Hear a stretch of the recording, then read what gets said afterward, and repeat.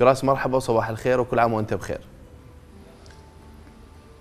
كل عام وأنتم بألف خير وصباح النور عليكم جميعا. حقيقة آه، بهذا اليوم يعني آه، أحب أتقدم بالتهنئة والتبريكات إلى آه، الإخوان المسيحيين هنا في العراق وفي كل مكان حقيقة بمناسبة أعياد الميلاد المجيد نتمنى لهم التوفيق ونتمنى لهم أيضا الاستقرار آه، والمزيد من الاستقرار في جميع مناطق بغداد وأيضا المحافظات العراقية وفي كل مكان.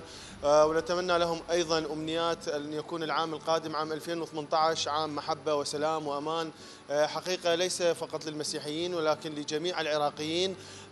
نحن شعب كما يعلم الجميع يتكون من الكثير من الطوائف والأعراق. فلذلك آه، جميع الأمنيات لربما لجميع العراقيين هي الوحدة ورص الصفوف ونبذ التفرقة والطائفية والعرقية التي حقيقة منذ عام 2003 وإلى الآن آه، قد آه، يعني أدت إلى ما أدت ويعني ما حصل من فوضى في بلدنا العزيز العراق. اليوم حقيقة نحن وأنا تحديدا في كنيسة انتقال مريم العذراء في آه، منطقة المنصور ويقام هنا آه، داخل هذه القاعة آه، القداس بمناسبة أعياد المسيح وأعياد الميلاد.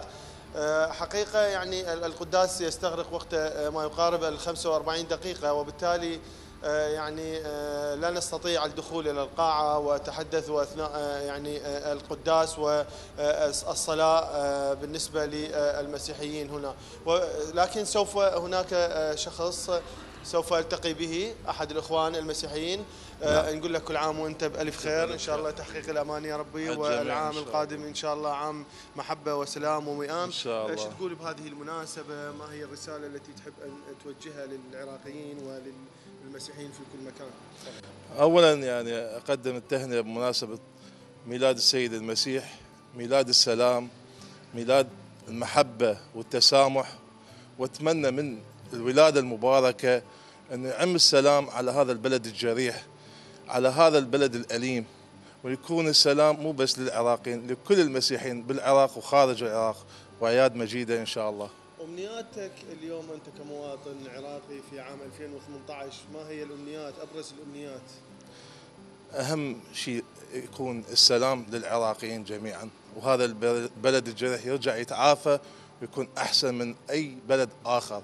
واتمنى انه تكون العودة عكسية للعراقيين بالخارج إلى العراق.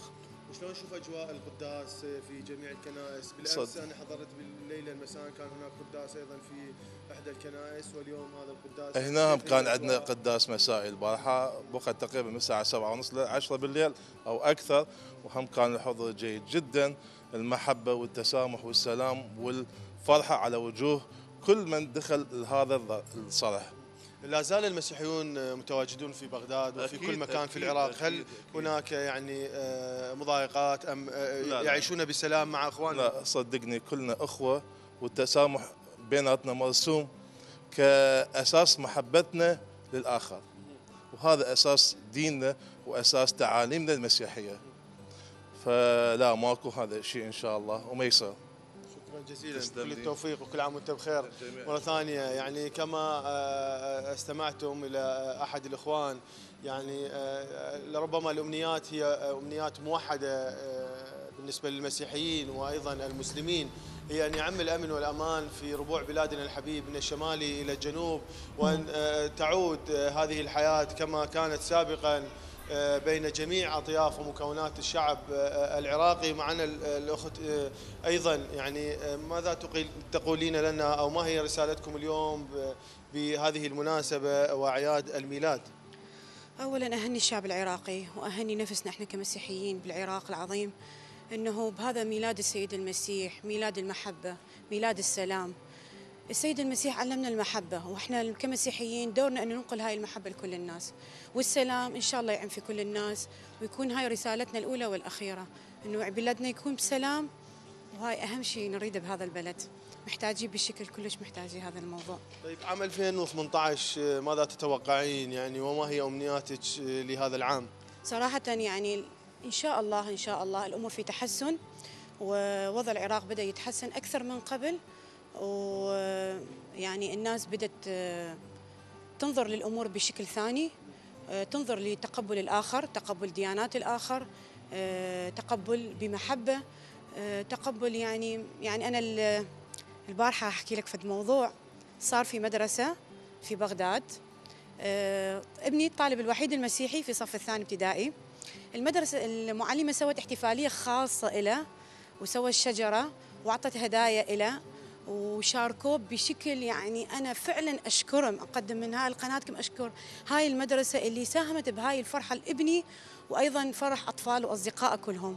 وتبادلوا الهدايا بين بعضهم. وفعلا كانت رسالة محبة وسلام. يعني أنا فعلا أشكر كادر هاي المدرسة على هذا المجهود اللي سووه. اذا يعني مبادرة جميلة. يعني آه، يعني ما هي رسالة هذه المبادرة؟ ماذا يعني وصلت اليك من يعني من من من مفاهيم من من معاني بهذه المبادرة. يعني أنا الرسالة اللي وصلتني أنه العراقيين آه، بلد محب بلد ليش قد ما ظرف ظروفنا مرت علينا صعبة لكن بقينا ننشر المحبة والسلام وبقينا بقينا نتجاوز هاي الصعوبات والأفكار اللي دخلت دخيلة على شعبنا وتجاوزناها بهالطريقة الحلوة وفرحوا الأطفال بهاي الطريقة. أكيد هاي رسالة سلام ومحبة وتقبل الآخر هاي أهم نقطة يعني إحنا نتقبل الآخر. كان من غير ديانة أو كان من غير قومية أو كان من غير لون. فهي أهم نقطة إنه الطفل يتعلم إنه يتقبل الآخر.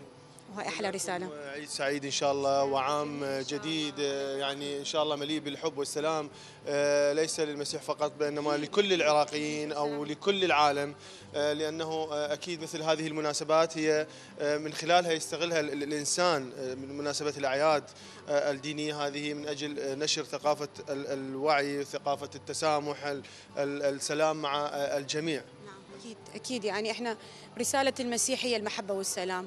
وإحنا كمسيحيين بدورنا ننشر هاي الرسالة لكل الناس وإن شاء الله الثاني يتقبل هاي الرسالة ونعيش مع بعض بهذا البلد اللي يجمعنا دائما. إن شاء الله. وشكرا شكرا جزيلا. شكرا على مشاركتك. الله يحفظك.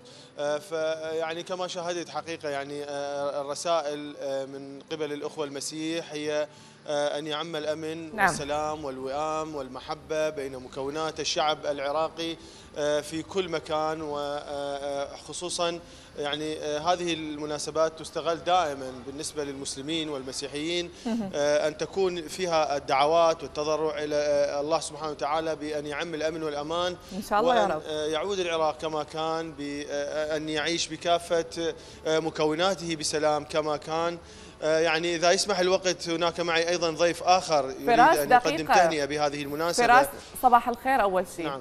طبعا فراس أنت يعني في كل صباح النور صباح نعم في كل تغطية آه، لما غطيت حتى معرض بغداد الدولي عشت هاي الأجواء اللي كانت في معرض بغداد الدولي وشربت القهوة وعشت ال- الأجواء الحلوة. اليوم آه، في ال- القداس وفي هذه الكنيسة آه، كلت شوكليت شنو اللي اللي يقدموه هناك؟ لو كل آه، شيء والله ماكو. حقيقة طقوس كثيرة يعني آه، لا والله أكو طقوس كثيرة حقيقة يقومون بها الأخوة لكن داخل القاعة ويعني باعتبار أنه هي القاعة آه، الآن تقام فيها قداس وصلاة يعني آه، الأمر مقدس يعني لا يمكن الحديث داخل القاعة سوى الاستماع والترتيل والتلاوة آه، فلذلك حقيقة لا أستطيع التحدث آه، داخل القاعة. آه، وأيضا بعد انتهاء القداس سوف يقومون بتوزيع الحلوى آه، أيضا و آم، آه، يعني يعيشون آه، طقوسهم كما آه، نحن آه، أيضا نعيش هذه الطقوس في آه، آه، يعني عيد الأضحى. وعيد الفطر المبارك. آه، أكيد. لكن الحقيقة صعوبة دخول الكاميرا الآن. آه، إذا يسمح الوقت يعني هناك تفضل. أحد الأخوة يعني آه، يريد أيضا يقدم تهنئة بهذه المناسبة. خليه تفضل. معي أخويا آه، كل عام وانت بألف خير. إن شاء الله يا رب تحقيق الأماني التوفيق للجميع والصحة والسلام لكم. اليوم آه، يعني آه، ماذا تقول بهذه المناسبة؟ ما هي آه، يعني أمنياتك آه، بمناسبة أعياد الميلاد والعام الجديد؟ العفو. نتمنى إحنا الأمن والسلام طبعا للعراقيين كلهم وللعالم أجمع. وإن شاء الله يا رب هاي المناسبة هاي السنة الحلوة إنه يعم الخير على البلاد كلها لأنه يعني الناس مثل ما يقولون العراقيين عانوا ما عانوا وإن شاء الله يا رب هاي فاتحة خير هاي السنة الجديدة على الشعب العراقي كله أجمع بدون استثناء يعني والعالم كلهم يعني إن شاء الله الخير والسلامة. طيب. آه، ما هي أهم الطقوس اللي يقومون بها ال- الإخوان أنتم كمسيح في داخل القداس يعني هنا في هذه القاعة؟ بعد القداس أيضا هل هناك طقوس أخرى؟ يعني آه، تكلمنا عن هذا الموضوع قليلا. هي الطقس هذا الاحتفال القداس إحنا الاحتفال بميلاد المسيح. وهي مثل ما تناولت حضرتك إنه في بها يعني تراتيل وتلاوة الإنجيل الكتاب المقدس. ومن ثم فراس، بالاحتفال تسمعني. يعني بمناسبة هذه. يعني وتهنئة فراس إذا تسمعني يعني. آه، هو طلب يهني. آه، خلي يوجه آه، نعم.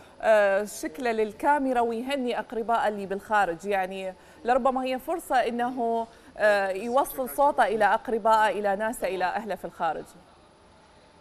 المن يحب يهني تمام. آه، يعني الز- الزملاء بالاستوديو آه، يقولون هل يعني تحب أن توجه تهنئة خاصة لاحد أهلك أصدقائك أقربائك في خارج العراق؟ ممكن أن يكون يسمعك آه، في هذه اللحظة؟ أكيد. يعني نهدنا كلهم اقاربنا وأهلنا إخواننا كلهم خارج العراق يعني وعمامنا واهلنا يعني. وإن شاء الله يعني نتمنى لهم كل الخير والأمان يعني. ويا رب يوفق الجميع إن شاء الله. شكرا لكم. شكرا. شكرا توفيق حبيبي ميلاد مجيد إن شاء الله. آه، آه، يعني كما سمعتم إنه ال- ال- حقيقة الأمنيات موحدة يعني آه، الجميع يعني يدعو. وحقيقة يعني الإخوان المسيحيين يعني بسبب التعايش ال- الكثير أو ال- الاحتكاك مع المسلمين منذ مئات السنين هنا في العراق يعني عندما يتكلمون أيضا يقولون إن شاء الله يا رب إن شاء الله يعني آه، كأنما آه، هم مسلمون يعني يدعون الله سبحانه وتعالى ويتحدثون بلهجتنا أيضا يعني الدينية. هذا دليل على أن هناك احتكاك وتماس كبير بيننا وبينهم وان وأننا جميعا حقيقة يعني نعيش نفس ال- الطقوس الدينية وأيضا نتمنى نفس الأمنيات وهي آه، نعيش بسلام في هذا البلد الذي عانى معنا خلال هذه السنوات نعم. وإن شاء الله يا ربي العام 2018 يكون عام محبة وسلام ووئام بين آه، كافة أطياف الشعب العراقي آمين ويعود. العراق كما كان عراقا جميلا مبتسما إن شاء الله. وأيضا أنتم كل عام وأنتم بخير. وتحقيق الأمان إن شاء الله لكم جميعا. إن شاء الله أكيد. إحنا نضم صوتنا إلى صوتك وإن شاء الله آه، تبقى آه، في نفس مكانك حتى نرجع إنه نتواصل وياك فراس وت- وتشوف الأجواء هناك. وتاخذ حتى شكليتهم حتى نشوف هاي الاجواء